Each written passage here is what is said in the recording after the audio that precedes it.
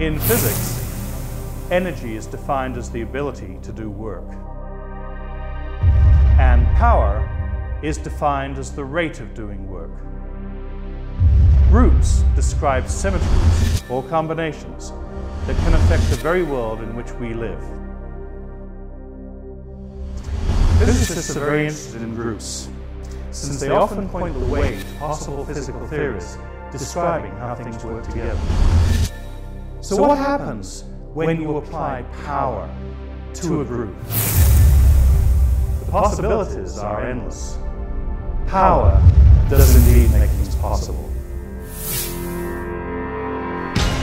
Through the Power of Possible campaign, we can transform the energy of our individual contributions into a powerful force for change, creating something bigger than we can imagine. This is how legacies begin. Going to University of Wisconsin Eau Claire just opened up so many more doors. So I got a lot of attention here that I wouldn't wouldn't have gotten in a bigger school.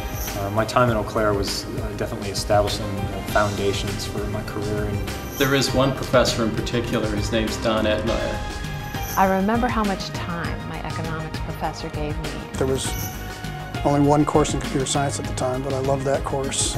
Nobu and Mr. Baca and uh, all these different professors that I worked with uh, were so important to me, but also this place was very important to my family. Um, I took a class with Les Pope, one of our, our favorite instructors, um, and he had us out going to concerts, to plays, to movies, and writing reviews. Uh, I do remember a particular course, in fact, uh, a cultural geography class. Uh, we also had a great travel experience at Eau Claire. We spent a semester abroad at Harwich-Spring University. Met Dr. Larry Ozello the first day here, and he sort of got me under his wing. When I came to Eau Claire, uh, I had no idea what I wanted to do with my life. I didn't know where I was going to go. It was a small school, and I felt challenged, and I felt noticed and part of the system. So I feel very fortunate to have been here. There is a powerful fusion of people, programs, and places here. A unique property that distinguishes UW Eau Claire from other institutions. We recognize it in ourselves. We encourage it in our faculty and staff.